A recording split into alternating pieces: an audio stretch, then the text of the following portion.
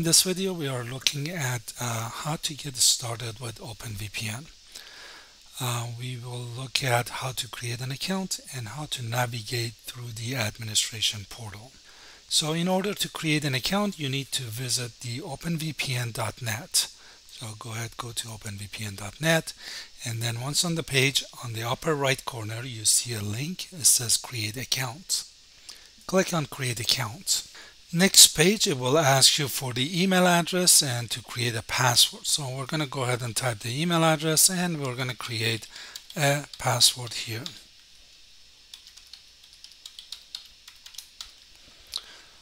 And then click on sign up.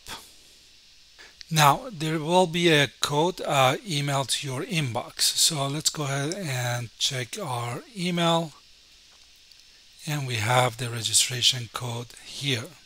So we're going to go ahead and grab this code. Let's go back to the previous page and type the code here. Once we confirm the code, uh, then we can choose what a product we would like to sign uh, for, either Access Server or OpenVPN Cloud. So here I'm going to choose OpenVPN Cloud. Now, in this screen, it's going to ask you for some information. So go ahead, uh, type the information here and I'm going to pause the video here. Once we're done I'll come back. When you're done with the information and click on continue and the next screen is going to ask you to create a WPC ID for yourself.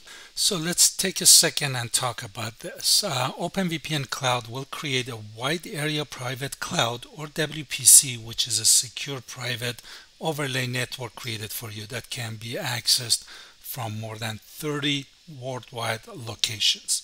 This network is created and is ready for use immediately after you choose the name here.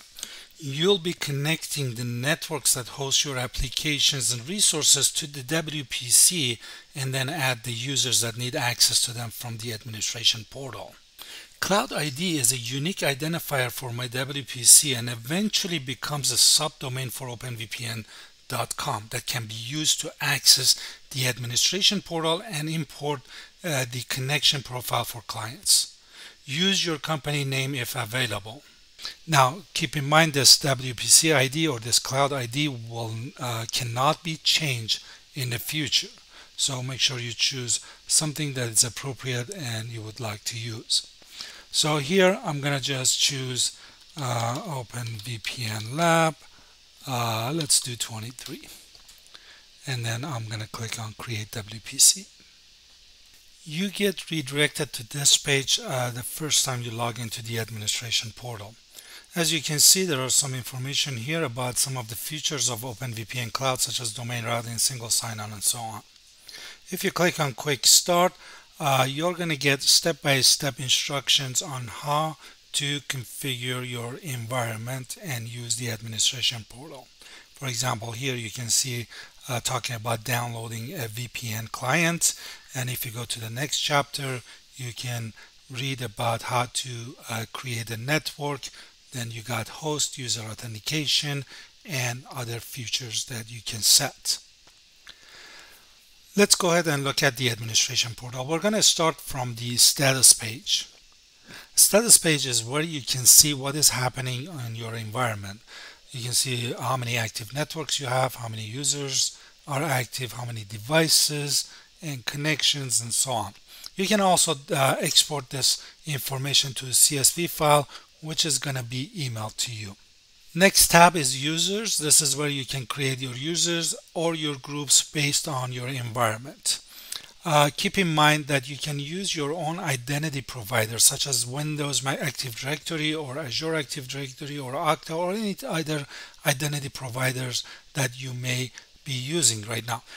The only thing is that you need to configure SAML or LDAP so they can talk to uh, OpenVPN Cloud or your WPC.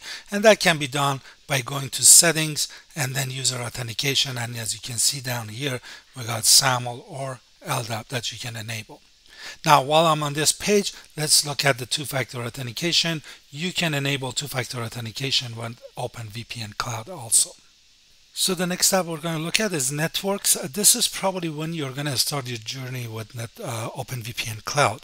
this is where you're going to create your network as you can see there is an option here to create a network you can choose uh, to use the wizard or you can skip the wizard but um, highly recommended to go through the steps with the wizard. You can choose what type of uh, network uh, you would like to have based on your environment. Uh, you can choose one or multiple.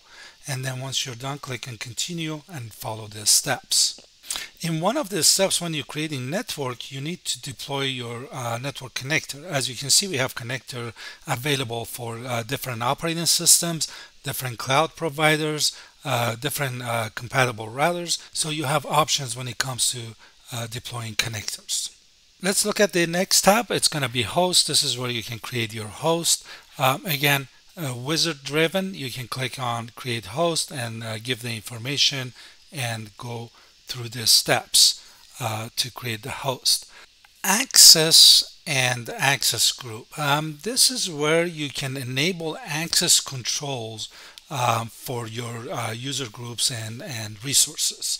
Um, as you can see here, we have the default full mesh access group right now set, and that's because our topology is set to full mesh. So if you look at here, if I go under settings to WPC, um, you can see my topology is set to full mesh. Now if I click on edit and change it to custom and update this, now I go back to access group. Now I have option to create different access groups. Now so you, I can create uh, different access levels for uh, different user groups and resources within uh, my environment. The next step that we're going to look is going to be shield.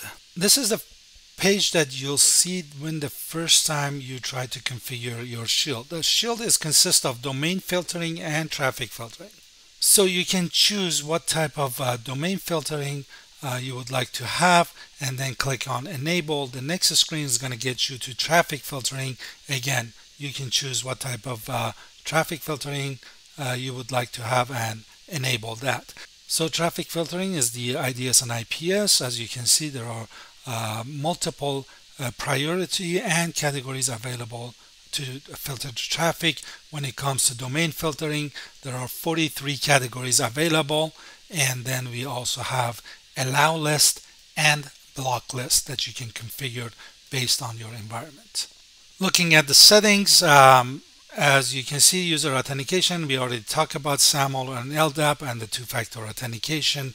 Uh, DNS, this is where you can uh, configure an external DNS server if you would like to use, or you can just use the OpenVPN DNS server. The DNS record uh, records tab is where you can add any type of DNS records if you choose to do so. Now under documentation, very quickly, we got the knowledge base, which is going to redirect you to our website and to our knowledge base. There are a good amount of information here for you to go through.